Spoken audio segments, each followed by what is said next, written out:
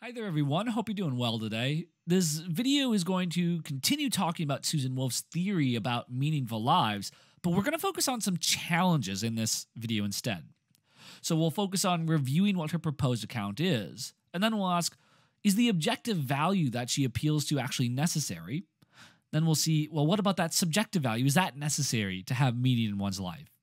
Then lastly, we'll look at is having both the objective value and the subjective value that's included in her account is that enough to give us meaning in our lives? Is that sufficient? So wolf proposes the following account of what it is to live a meaningful life. A life is meaningful if and only if it involves active engagement with projects of worth. So there's two parts to that. There's the active engagement where this involves a kind of subjective value that depends on your own attitude or feelings about what you're doing in your life. Now, this isn't just a kind of enjoyment, according to Susan Wolf. It's a feeling of being passionate about, about loving what you're doing. And you can sometimes feel actively engaged with an activity, even though sometimes you are frustrated by it. You're not enjoying it you might even power through that frustration because even at that moment, you still feel the passion for this project, for this thing that you're doing. Now, on the other side, though, this passion has to be directed at a project of worth. What she means by that is it has to be a project or activity or thing that has its own value independent of your own attitudes or feelings. It has objective value. So, according to Wolf's account, this active engagement, these subjective feelings are necessary to have a meaningful life, but those feelings by themselves aren't enough because you might someone might feel that passion for things that are trivial that are not actually worthwhile in which case she thinks that it doesn't add meaning to your life. On the other hand the involvement with projects of worth is also necessary but it's still not sufficient for having meaning by itself. Because someone might be doing something that's worthwhile, like writing checks to charity, or even being a housewife or being a doctor. But it's possible that their heart is not in it, that they're just going through the motions. Now, being a doctor, being a mother might still be incredibly worthwhile, objectively valuable. But if their heart's not in it, that is, it's not really going to give meaning in their own life. So Susan Wolf thinks you need to combine these things together. It's only when you have both active engagement, you feel that passion, your heart is in what you're doing, and the thing you're doing is a project of worth. So it's when you put those together that you have something sufficient for adding meaning to your life. It's when you love what you do and the thing that you're doing is deserving of that love. It's where subjective attractiveness meets objective attraction, as she says sometimes. One kind of question we might ask, though, is Susan Wolf thinks that both the subjective component and the objective component are necessary. Someone might suggest, hey, look, I'm on board with this subjective feeling, this passion you have to feel in order to get meaning in your life. I don't really care where you get it. So someone might suggest what really matters here is yeah, it's not just enjoyment or pleasure we're looking for, but it is still a feeling. It's a particular kind of pleasant feeling. On this view, someone might say our longing for meaning, our desire for meaning in our lives is nothing more than a desire for a very specific kind of pleasure it's not just more pleasure, it's a certain quality of pleasure that we're looking for that we might call a feeling of fulfillment. And someone might suggest that that feeling that you sometimes get is sufficient for adding meaning to your life. So consider an analogy here just to make clear what's being proposed. Some foods taste good, but they lack substance to fill you up. Other foods taste good, but also have enough substance to fill you up. So if I snack on M&Ms all day, I might enjoy the taste. I might get pleasure out of it, but I don't get this feeling of being filled. And but if I eat a meal of chicken and potatoes and gravy, I get not only pleasure from that, but I also feel filled. I, I feel full. Similarly, some activities might give us pleasures that are nice, but those activities don't feel fulfilling to us. So, this is how I feel about playing board games. Playing board games is nice, I enjoy it, but I don't feel fulfilled with my life when I play board games. Other pleasures, they're not just nice, but they actually feel fulfilling. Spending time with my family, helping raise my kids, sometimes that's frustrating, but I also feel fulfilled by it. And that feeling of fulfillment is itself a certain kind of pleasure. So the idea here is that the desire for meaning is not just a desire for a pleasurable life, and it's not just a desire for having more pleasure in your life. Rather, it's a desire for a particular kind of pleasure. We'd be willing to give up certain kinds of pleasure to experience this higher quality pleasure of fulfillment. In the same way, I might be willing to pay more money for less food because it's more filling, it's a higher quality of food. I might be willing to give up less quality pleasures like board games in order to spend more time with my family and get the more fulfilling pleasure. So, on this kind of subjective fulfillment account, it doesn't matter what kind of activities give you that feeling. It just the feeling itself that provides you with meaning. In other words, on this alternative, something can contribute meaning to our lives even if what you're doing has no objective value, if its only value is the feeling that it provides. But wait, you might say, hold on. There were those examples. When we think about examples, some activities like moral and intellectual accomplishments, relationships with our friends and family, religious practices, these are the kind of things that come to mind as contributing meaning to our lives.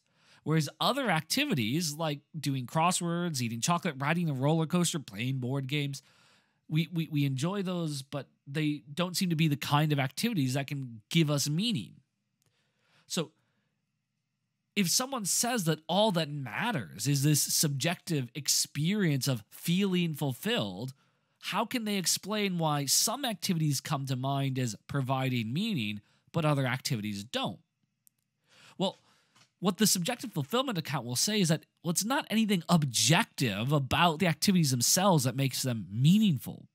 Rather, the reason activities like moral and intellectual accomplishments come to mind when we think about meaningful lives is just because, given the way human psychology works, some activities are more likely to produce those feelings of fulfillment than others. For most people, playing board games, playing video games doesn't provide them with this feeling of fulfillment in their life. Whereas moral and intellectual accomplishments or spending time with friends and family, developing those relationships, maybe going to religious activities, those kinds of activities tend to give people feelings of fulfillment. And that's why they come to mind when we think of the of meaningful lives. But that's just a fact about our psychology not a fact about the activities themselves so it's possible that there could be a person very different than most human beings that gets feelings of fulfillment from doing crosswords. And this theory would say that's all that matters. Then that gives meaning to their life if they get that special kind of pleasure that we're after.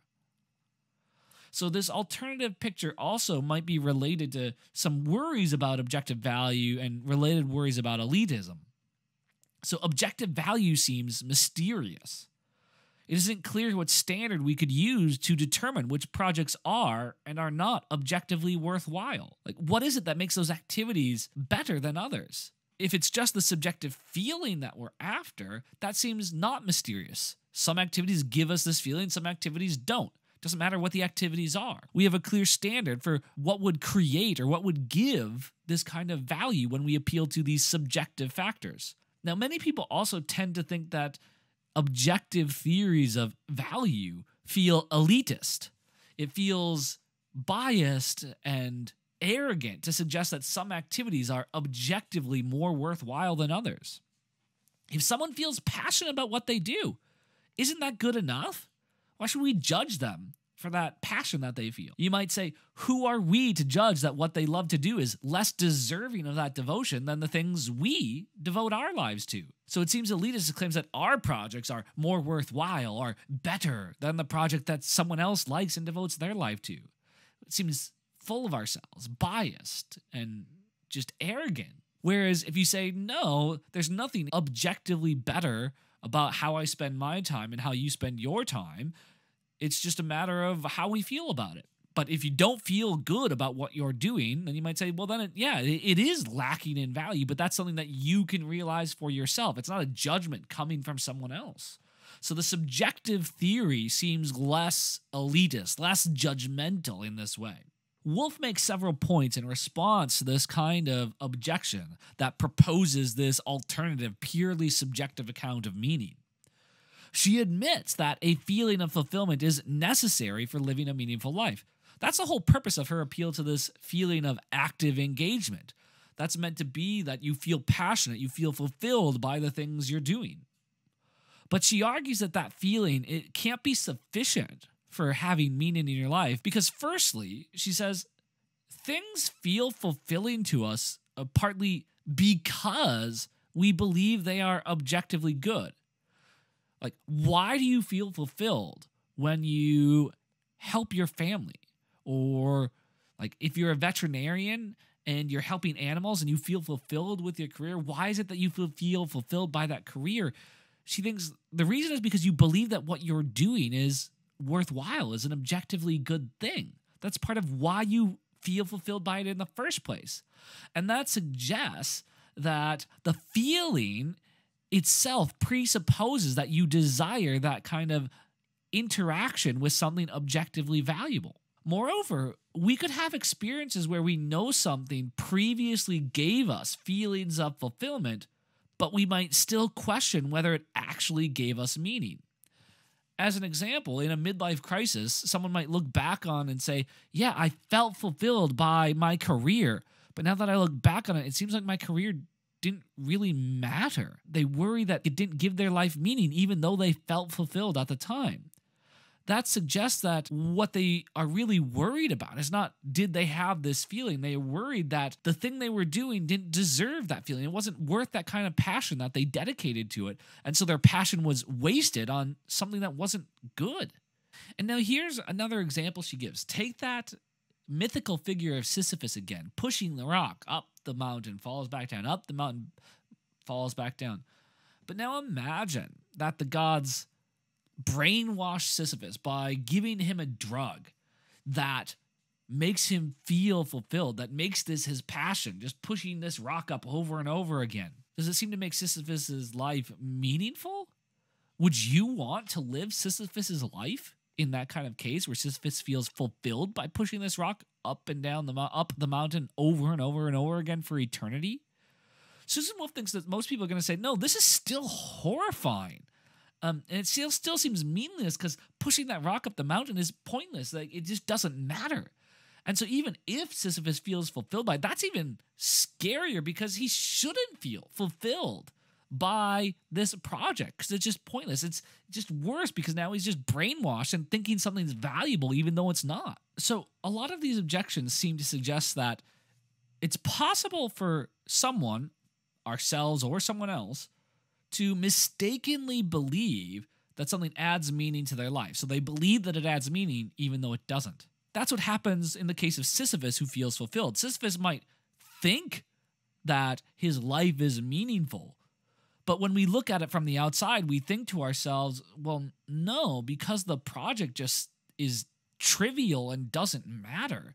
Sisyphus is mistaken. He thinks his life is meaningful, but there really is no meaning to it. Or if someone is the victim of a religious cult, they might feel fulfilled when they're a part of this cult, but when they break free, they look back and they worry that everything that they did didn't mean anything.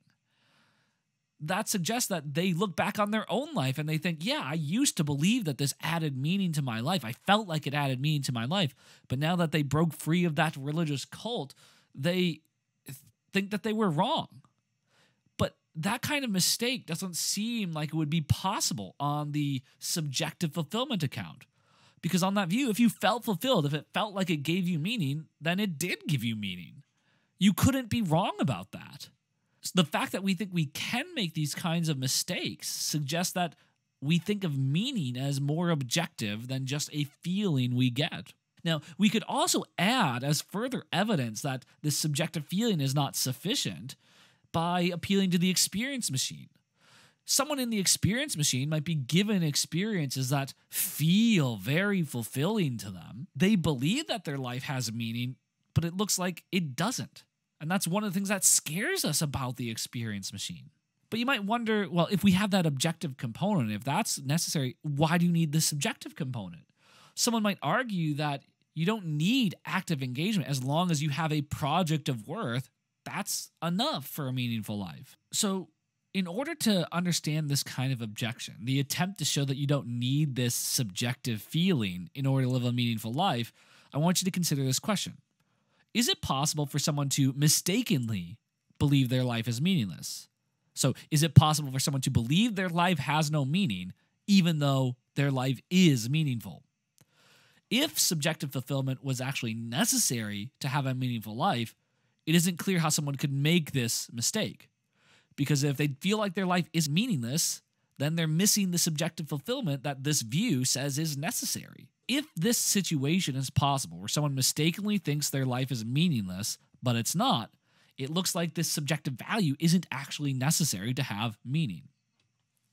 So the philosopher Aaron Smuts suggests the following example as an illustration of this possibility. It comes from Frank Capra's It's a Wonderful Life, a movie from 1946, very popular Christmas movie. But this movie tells what is now a familiar story of a suicidal man, George Bailey, who's finally able to see the meaning of his life with a little help from a friend, an alcoholic angel who wants to make good. The angel takes George on a trip to Pottersville, this alternate world where George had never been born. And the idea is that the angel shows how much worse the town would be and the people in the town would be, thereby showing how much of a difference, how much good George has brought into this town and to the people here. And a few hours is enough for George to see how meaningful his existence has been. On his dark night of the soul, George mistakenly thought that his life was meaningless because the family business was likely to fail under his stewardship, and the failure of the family bank would certainly be a significant loss. However, it would not sap his life of positive meaning. Just look at how much good George did for the people in his town. Although George couldn't see it, his life was indeed meaningful.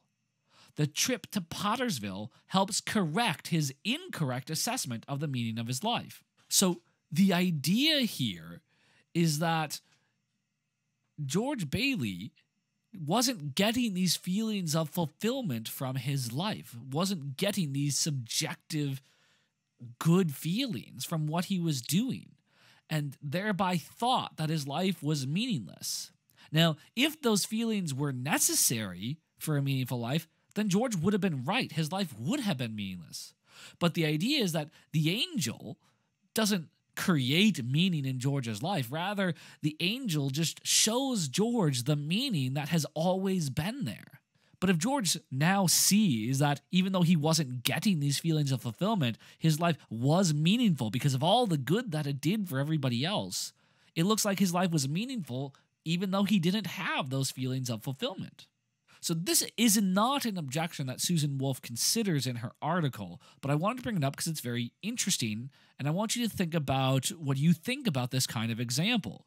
Is it true that this is a case where someone's life has meaning, but they don't have these subjective feelings that usually go with having a meaningful life? Now, another kind of worry is you might say, hey, look, even if these things are necessary for a meaningful life, even if you do need this subjective feeling, even if you do need projects of worth, you might want to suggest that this is not enough, not sufficient for living a meaningful life. This is what I'm going to call the cosmic insignificance objection. And Susan Wolf does talk about this.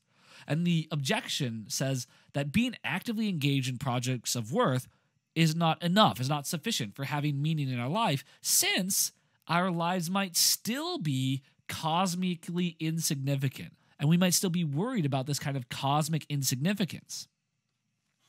So, remember those existential experiences that people might have on their deathbed or when they contemplate their death or maybe in a midlife crisis. Well, when people have these experiences and they're worrying about the meaning of their lives, they're often caused by this thought, this idea that our lives are just a speck, a tiny little part of a very big universe that's going to go on for all time. Like billions of years from now, human beings will be gone. And what I do in my life now is not going to change what the universe is going to be like a billion years from now. So, in this way, I worry that I'm just like this small speck in the vast cosmos, and that what I do, my life, doesn't make any lasting or permanent or enduring difference to the cosmos. So, pointing out that we can still feel passionate about the kind of worthwhile activities that Wolf has in mind, like moral and intellectual accomplishments, aesthetic creation or appreciation, maybe religious activities. Pointing out that you can engage with those kind of activities doesn't seem to satisfy the worries people are having when they imagine themselves as this little speck in the cosmos. So the worry is that we're looking for more than what Susan Wolf has to offer when we're searching for meaning. So Wolf responds to two different versions of this worry. The first version of this worry is embedded in a kind of theistic worldview, one that appeals to ideas about God. So some people worry that nothing is going to have objective value unless God exists. And the claim is that all projects, everything we do, is equally worthless if there is no God, that they don't have any value. So, on this kind of meaning, our longing for meaning would only be satisfied if we were convinced that God exists. So you need more than just to be convinced that you're engaged with the kinds of projects Susan Wolf has in mind. Now, version number two says that in order for our projects to be worthwhile, our lives would have to have some enduring outcome, some permanent outcome. But nothing we do has any enduring outcome in the grand scheme of the universe, and all our projects are thereby equally worthless. On this view, spending your time with friends and family is just as worthless as collecting rubber bands for your whole life because neither of them makes any difference to what the universe is going to be like in the grand scheme of things. Thus, meaning can't come from engaging with these kinds of projects of worth that Susan Wolf is suggesting. Now, this second version of the objection has been used to motivate either a subjective account of meaning. So the idea is since nothing is enduring, we can't get meaning from engaging in these worthwhile projects since nothing endures anyway. So we must be getting meaning from something else. Maybe it's just from our like what we decide is meaningful to us instead. Alternatively, sometimes this kind of objection has been used to motivate a nihilist view that comes to the idea that unfortunately just there is no meaning. Like there is no meaning in people's lives. And that sucks. Now, Wolf does have a reply to both versions of this kind of objection. So, with respect to the theistic one that appeals to God, she argues that that idea is actually consistent with her hybrid account of meaning. Because Wolf doesn't offer any view about what makes projects worthwhile. She's actually very hesitant because she takes to heart she doesn't want to appear elitist at all in her position. She doesn't want to judge some activities as being more worthwhile than others and she thinks we can make mistakes and it's not clear to anybody, to her or anybody else, which activities really are worthwhile and which ones aren't. This theistic idea is just adding a theory about where objective value would come from. It says what makes some activities worthwhile is that God has given them objective value, has maybe made them part of the plan for our lives. And other activities God has not given that kind of objective value to. So, this theory can agree that active engagement with projects of worth is what gives meaning. They're just saying, and what makes projects worthwhile is God. Susan Wolf herself doesn't seem to be sympathetic to the idea that what makes projects worthwhile is a decision by God, but she's just pointing out that such a view is still consistent with what she says about meaning, since she hasn't given a theory about objective value. Now, her response to version number two about this worry that nothing we do endures, she says this seems to be focused on a kind of irrational concern for permanence or enduring outcomes. But something seems to be able to have value even if it doesn't last forever. Someone who cures cancer seems to do something valuable, even if people eventually go extinct. Why does it have to last forever in order for it to be a good thing, to be a valuable thing? If you feed a hungry person, looks like you've done a good thing, even if you can't feed them for the rest of their life. The fact that it's not permanent or enduring doesn't mean that it didn't have value during the time it was happening. So that's all for this video. I'll see y'all next time. Bye bye.